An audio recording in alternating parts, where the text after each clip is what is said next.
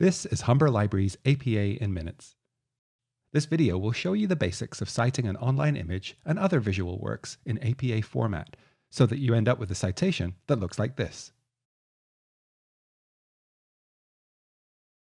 For simplicity, and to match the APA style guide, in this video we will refer to online images as visual works. Visual works can include photographs, paintings, infographics, and more. Decorative images, such as clip art and stock photographs, which are often used in PowerPoints and presentations, may require an attribution, but do not require APA citation. If you're looking for help with finding, using, and attributing online images for decorative purposes, visit our guide linked in the description. To make a reference list citation for a visual work found online, you will need the author, artist, company, or brand that created the work, the year it was created, the title, the type of work, for example, a photograph or map, the website name, and the URL. Sometimes it may be difficult to find all of this information. Be sure to look carefully throughout the website.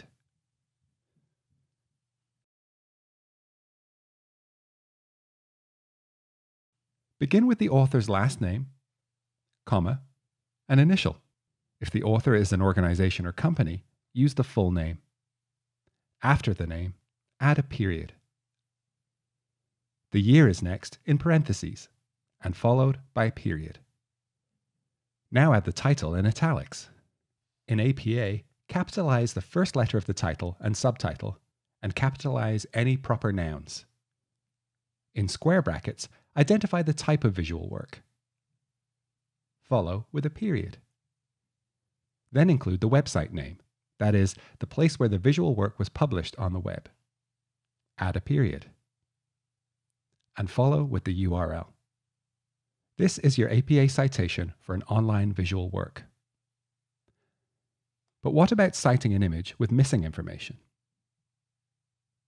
If you can't identify the creator of the visual work, move the title and type of work to the beginning of the citation followed by the date, the website name, and the URL.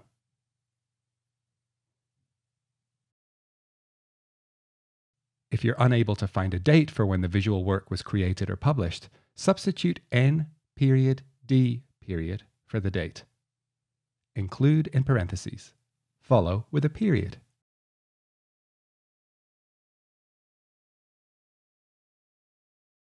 If the visual work has no title, and you're unsure of the type of work, APA Style recommends that you briefly describe the visual work in place of the title.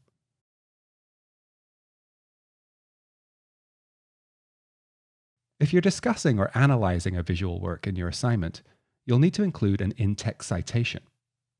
How you include the in-text citation depends on whether you insert or reproduce the image in your work or not. Let's look at both scenarios. If you've inserted or reproduced the image within your assignment, APA style requires the visual work be labeled as a figure, like this. Start by adding the word figure in bold above the visual work. Then add a number in bold, according to the order in which this figure appears in the text. For example, figure 1 if this is the first figure in the text. On the next line down, put the title of the figure in italics. The title can be the same as the visual work, or a general description. Next, include the visual work itself. Below the visual work, add the word note in italics, followed with a period. Add any details that cannot be understood from the image itself, as well as any copyright information. Instead of using the traditional in-text citation in parentheses, refer to the visual work in the text by referring to the figure. For example, the scratched archival paper in Figure 1 evokes the layers of identity explored in Brewster's work. When referring to a visual work that isn't reproduced in your paper, add the creator's last name. This could be an artist, company, or brand. Add a comma and the date of publication include in parentheses, and follow with a period. Regardless of the presence of the image in your assignment, your reference list will be on its own page at the end of your paper and will contain the full citation information. Make sure to put your citations in alphabetical order. Don't forget to double space and indent after the first line. For more information and support with APA, book an appointment with the Writing Centre, consult the OWL at Purdue, or refer to the APA resources available at Humber Libraries.